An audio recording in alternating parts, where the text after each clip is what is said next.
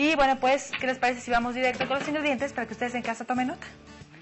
Para esta gelatina de elote y rompope vamos a necesitar una lata de leche condensada, una lata de leche evaporada, una lata de media crema, dos tazas de granos de elote de lata,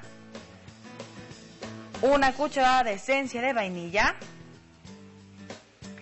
de 3 a 4 sobres de grenetina, cada sobre de 7 gramos, hidratada en media taza de agua fría y disuelta baño María, una taza de rompope para acompañar. Y frutos rojos para decorar. Ya estamos ahí con los ingredientes, vamos a ir aquí vertiendo la licuadora, las, las tres leches, digamos, que tenemos aquí, la leche condensada, la leche evaporada y la media crema, junto en la licuadora. Ahí está listo.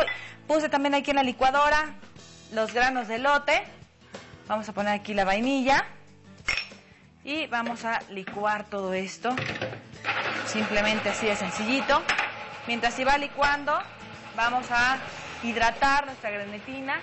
Dije de 3 a 4 sobres porque si le gusta una gelatina un poquito más firme, entonces póngale 4 sobres. Si le gusta un poquito más, con textura más cremosa, pues entonces póngale 3 sobres únicamente. Aunque lo de 3 sobres se va a tardar un poquito más en cuajar. Cada sobre tiene 7 gramos y es aproximadamente una, cuchara, una cucharita eh, chiquita de estas de, de té. 7 gramos, si tiene báscula y péselo.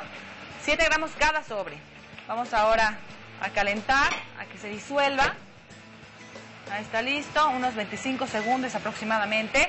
Una vez que ya está bien disuelta, vamos a verter nuestra grenetina aquí a la licuadora funcionando. Use de los granos de lote dulce, señora, no de los granos de lote blancos, sino de los, de los amarillos, de los dulces, porque acuérdense que esta es postre, es una gelatina de lote. Vamos a verter esta mezcla en un molde para gelatina, en este caso de rosca. Ya está lista ahora sí nuestra grenetina. Vamos nada más a mover ligeramente. Vean cómo ya quedó completamente líquida. Ya no se ven los grumitos. Y ahora sí vamos a verter esta mezcla con la licuadora funcionando. Ahí está. A la mezcla de lote. Unos segundos más y vamos a verter ahora nuestra mezcla a este molde para gelatina. Lo vamos a refrigerar alrededor de dos horas aproximadamente o hasta que vean que ya cuajó por completo, que ya está firme.